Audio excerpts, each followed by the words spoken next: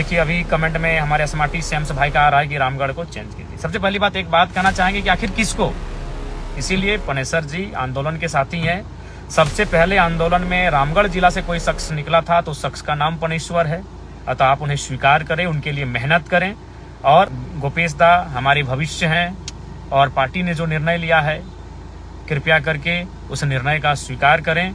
2024 ही आखिरी नहीं है, इस बात को भी ध्यान में रखेंगे। जोहार, झारखंड, जय झारखंड। सभी सीटों की लगभग लगभग घोषणा हो चुकी है।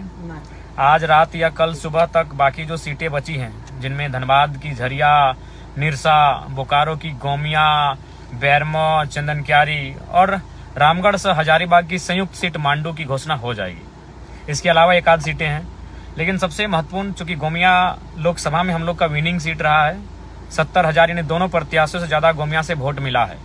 मांडू में भी बिना हमारी उपस्थिति के दो सालों के संघर्ष के ही दौरान जो फ़ील्ड बना था, जो फीडबैक बना था, उसी के आधार पर ही पचास हज़ार से ज़्यादा वोट।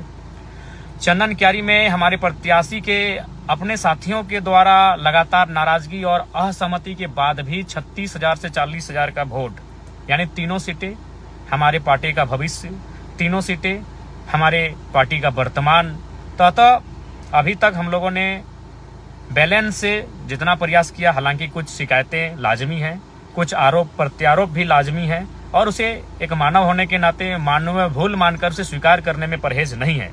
लेकिन वक्त काफ़ी कम है, वक्त तीस दिन का है, और जैसा कि देखिए, हम लोगों ने रामगढ़ में बेरोजगार पनेश्वर जी को प्रत्याशी बनाया। पूरे राज्य ने इसकी प्रशंसा की, लेकिन रामगढ़ के ही कुछ साथी असहमति दर्ज कराए। देखिए, अभी कमेंट में हमारे स्मार्टी सैम्स भाई का आ रहा है कि रामगढ़ को चेंज कीजिए। सबसे पहली बात, एक बात कहना चाहेंगे कि आखिर किसको? इसीलिए पनेसर जी आंदोलन के साथी हैं। सबसे पहले आंदोलन में रामगढ़ जिला से कोई शख्स निकला था तो शख्स का नाम पनेश्वर है।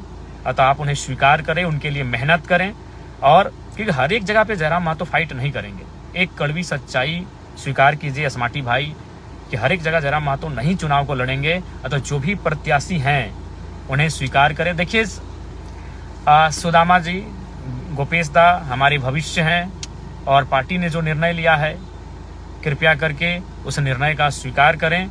2024 ही आखिरी नहीं है, इस बात को भी ध्यान में रखेंगे।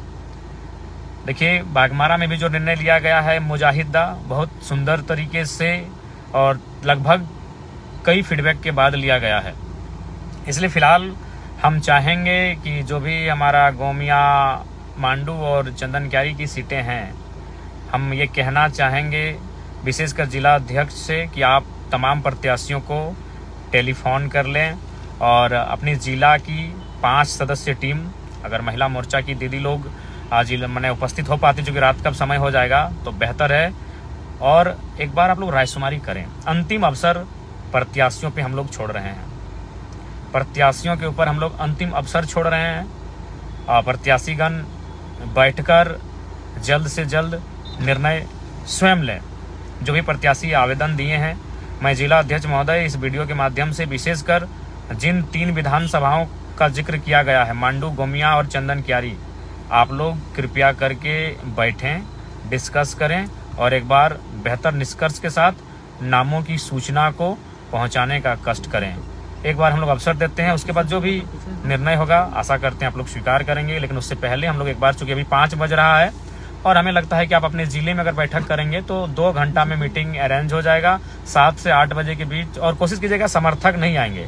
जो भी प्रत्याशी अगर अपना समर्थक लेकर आते हैं तो उन्हें आप माइनस मार्किंग करेंगे क्योंकि समर्थक नहीं केवल प्रत्याशी आएँगे और केवल जिला के पदाधिकारी रहेंगे और प्रख, तमाम प्रखंडों के प्रखंड अध्यक्ष।